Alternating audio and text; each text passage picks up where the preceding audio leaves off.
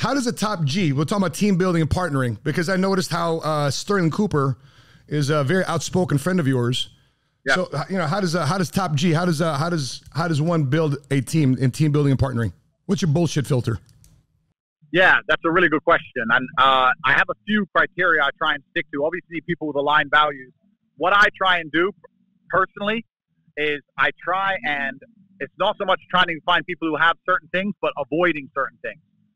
So, in my experience, if someone's past a certain age and they're still broke, that that's a they, they must have some kind of hidden laziness or some kind of hidden I don't know. A lot of them will come up with a bunch of excuses, but if you're past a certain age and you and you really haven't got your life together at all, I avoid those people absolutely. You need Wow. people who are at least semi-winning, because in my experience, the, the person who's gonna the person who's gonna snake you for food is the starving man, right? That's right. So so um, I try and only do business with people who have too much money to to rob me. So uh, a lot of my business deals are on handshake because Really? I know that I know that we're all in it for for the greater cause and we're in it for the brotherhood and we're in it to make money. Yeah, sure, but we'd never lose our brothers over a little bit of cash. So that's the first thing. Second thing is obviously networking and trying to find a strong network. That's difficult to do. I have my own network. There are networks online.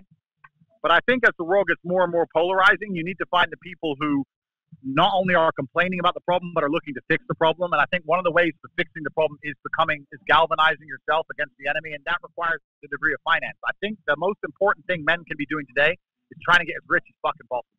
You know, being a person that recruits, trains, and develops insurance agents and develops agency owners across the country, I definitely r- relate with this because I can't tell you sometimes when we interview somebody and we look on their LinkedIn and we looked on their social media.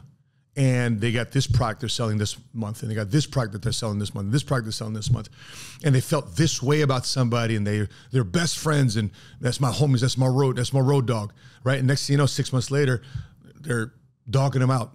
They're calling them out for some reason. They're throwing them under the bus. And then they go from one opportunity to another opportunity. And then they have a conversation with me convincing me that multiple streams of income are a very good thing, especially early in your career before you've even made your money yet. And so those are certain things that I resonate with this because let me tell you this. My biggest areas of concern is today's men that are in relationships and having kids and separated, two different homes. The kids are in between two different homes. And the father has not got his finances squared away yet but yeah, he's going to go party. He's going to go hang out. He's going to blow his money on on video games and iPhones and all these different things. But yet he's not providing for his children. Now you may not get along with baby mama. Fair enough, I get that.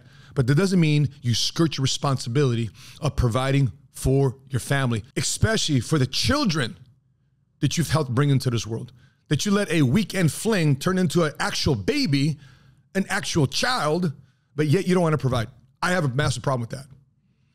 And so when you provide, guess what happens to you? You take care of your responsibilities. You make sure that the people that you birthed and created into this world can look up to you one day and honor you and respect and know that from day one you've always been there. That's your legacy. That you didn't skip out on your responsibilities.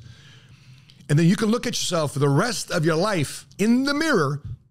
And if nobody else gives you respect, even if your own children don't give you respect, you don't lose self respect for yourself.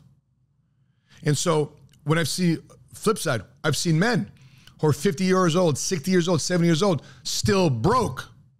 I get having a divorce in your family, but yet still broke. And what's worse, it's not the financial condition of their situation, it's the mental condition of older men that in their heart, brain, spirit, they're broken.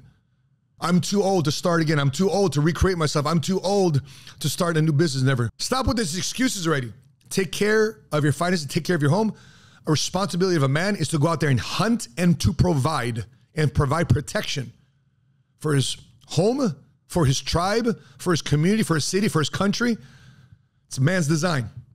And so when you're looking at men that you are looking to associate with, are they focus on other things or they focus on getting to the next level of your life. I love this feedback from Andrew Tate.